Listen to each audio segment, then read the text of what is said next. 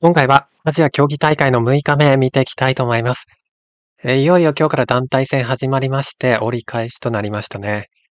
え昨日の個人戦で一力普段、惜しくもね、敗れてしまったんですけども、どうやら対局後にね、涙を流したようですね。で中国の竹津九段も、決勝戦で敗れまして、どうやら対局後にね、涙をね、こらえきれなかったようですね。やっぱそれだけね、やっぱり悔しかったということですね。で、男子団体戦今日から始まりました。日本代表は、午前中の対局、マレーシアとの対局で、5-0で勝ちですね。ただですね、あのー岐阜の中継がありませんでしたね。なので結果だけ報告ということになりますね。いや、この配信全盛期にね、動画中継だけでなくてね、手順中継すらないとは思わなかったですね。で午後の対局なんですけども、これも手順中継すらなしということで、これも結果だけになりそうですね。女子の団体戦見ていきたいと思います。女子の団体戦も午前中は、えー、結果だけでしたね。3-0で日本代表がタイに勝ちということですね。で、午後の対局なんですけども、早くも、えー中国代表との対局になりましたね。この対局3局ね、すべて見ていきたいと思います。初手から見ていきたいと思います。黒番が上野2段、白番が押江7段ですね。上野姉妹の妹の方ですね。黒番が上野2段ですね。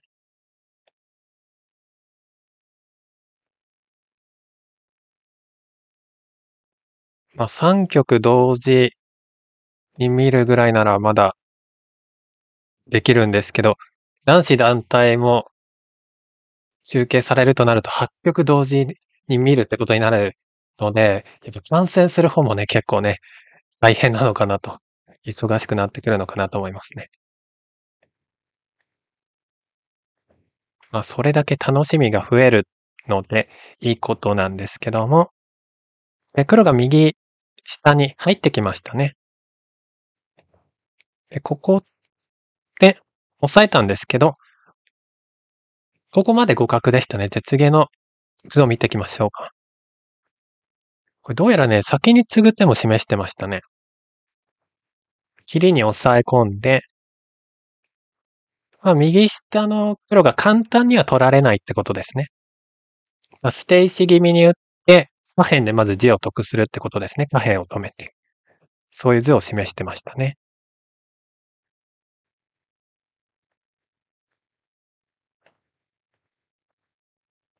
実戦は次を打って、隅で生きるっていう図を選択したんですね。まあ、変化とかあったんですか？一応、評価値はね、黒が、ここではね、あのー黒が良かったわけですよね。で、この3目有利から5目有利ってことなので、まあ、字だけで換算するとどうやら8目損したみたいですね。絶芸の図見てきますか？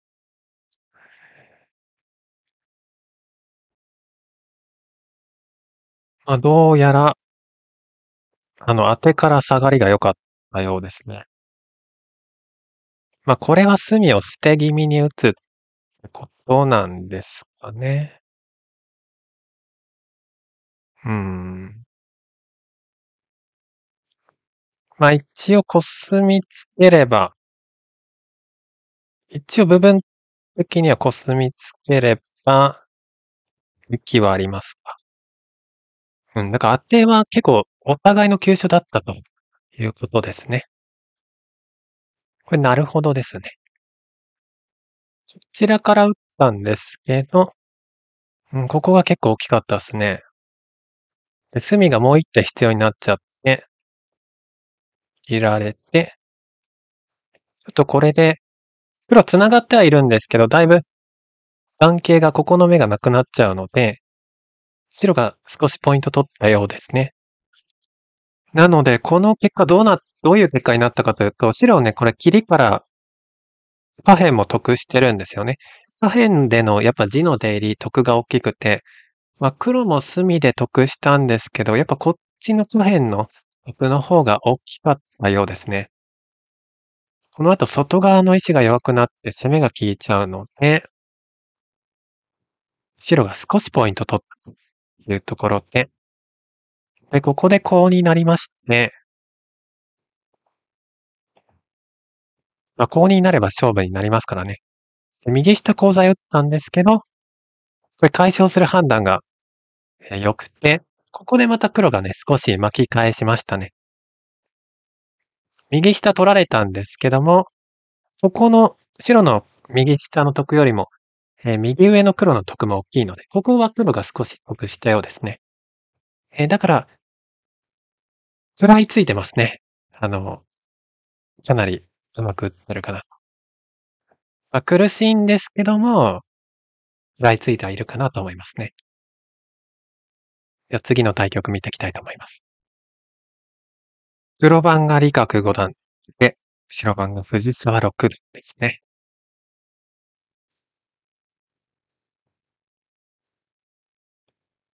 日本代表は補欠の選手がいないので、えー、女子団体3人でね、まあ男子は5人ですけど、登録がね、男子が6人まで登録可能で、女子も4人まで登録可能なの。やっぱ補欠いないので休みなしでのね、連戦になりますね。まあ、一力九段初日からね、超ハードスケジュールで、プレッシャーのかかる対局何局も連続で打ってます。まあ、一力九段今日ぐらいはね、休ませてあげたかったですよね。で、こうやって。えー、白はですね、厚みの選択ですね。ちょうどこれ、これ右下のかかり一本が働いてて、主張、この黒が逃げ出す主張が白がいいというところで。これは白が打てるわけですね。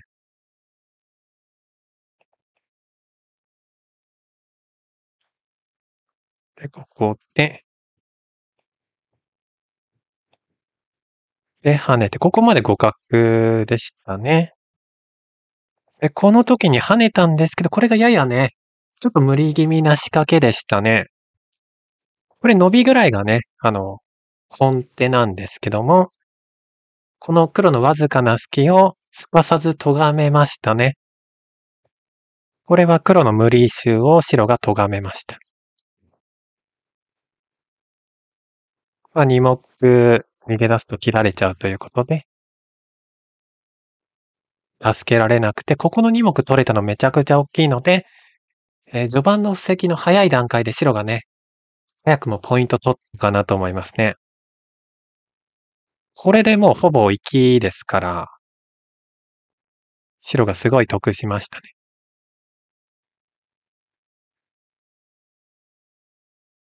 これすごい白が得してて、絶芸の図見てきますか？伸びであれば結局受け継ぎぐらいなんで、こういう覗きとかも本来だったら黒から聞かされる形だったんですね。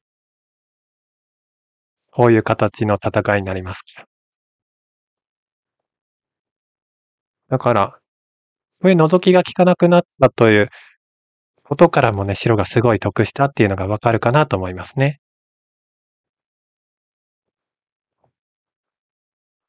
で、こうやって、あのー、かなり白が有望な展開になったかなと思いますね。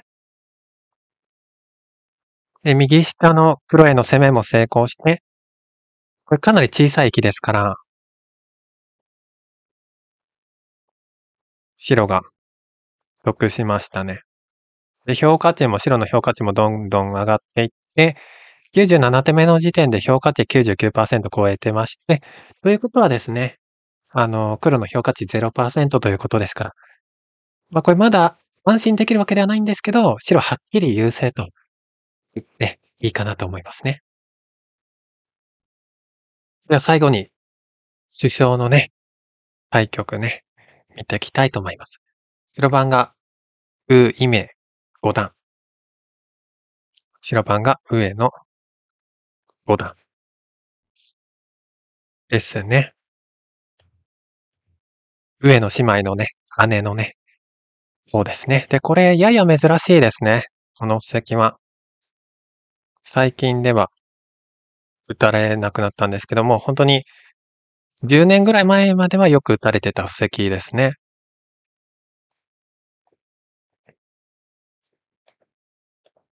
まあ、得意な布石ということで、当然研究済みではあるかなと思いますね。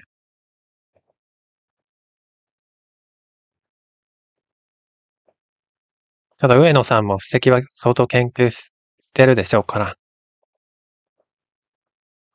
布石の立ち上がりとしては、白が主導権取ってる展開なので、これは白が布石ポイント取りましたね。で、打ち込みがうまい手で、隅の字の得が大きいんですね。隅黒字だった場所、白字で、かなり大きな白字になりましたから、えー、わずか53手で白優勢と言っていいかなと思いますね。どうしてかっていうと、黒早くも勝負手打ってきたんですね。ちょっとこのままでは苦しいと見て、早めの勝負手ですね。やっぱこれ上辺このまま白地だと大きいので、あの、厳しく踏み込んできました。で、ここで反発ですね。まあ、この戦いがどうなるかですね。で、こうやって。で、ここで逃げ出しでちょっと評価値落ちたようですね。ここまではかなり白の評価値良かったですね。絶芸の図見てきますか。うん、どうやら、逃げ出さないで字を得する手がやっぱり間違いのない手なので、字を得してれば、あの、先生悪くなるってことないですから、なんかこんな風に打つのが良かった。まあ、こんな風に打って上辺の黒石2目を取り込めば上辺の白地が大きいですよってことですね。ただ上野さんそんな予定ではないので、えー、ここでね、この黒石全部取りに行ったんですね。ここでも、えー、どうやらね、うん、まあ、2目助けないで曲がりで、やっぱ上辺の2目取りに行く方が、実芸そういう図示してたんですけど、その方がどうやら評価値は良かったようですね。ただ、上野さんはそういう予定ではないんですけど、これ結構リスクのある打ち方で、この黒全部取りに行ってるんですけど、全部取れないと、あの、白が得してる場所がないので、まあ、一気にここで勝負決めに行ったんですね。リスハイリスク、ハイリターンの打ち方で。まあ、決まればここでもう勝負決まるんですけども、どうやらね、ここに打たれてね、この黒、なかなか取れないですね。なので、ま、どうやら逆転のようですね。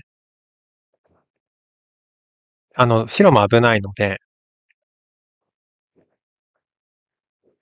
これ取れないんですね。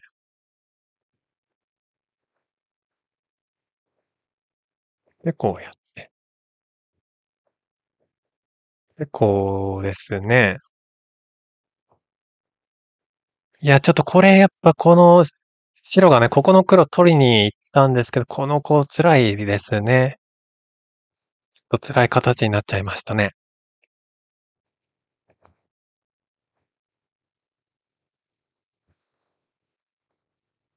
で、こうやって。で、黒は行きました。やっぱこれ取りに行って、無条件で生きられちゃいましたんで、ここでどうやらしっきり黒優勢になったようですね。ちょっと評価値も苦しい評価値となってしまいました。はい。というわけで結果出ましたね。藤沢六段勝ちました。完勝だったかなと、名曲だったかなと思います。で、上野五段は、惜しくもね、負けてしまったようですね。うん、どうやらここら辺の白取られちゃったのが大きかったみたいですね。で、今、たった今ですね、結果出ました。えー、上の2段も惜しくも。まあ、粘ったんですけど届かずということで、1目半ですかね、最後。熱芸1目半と言って、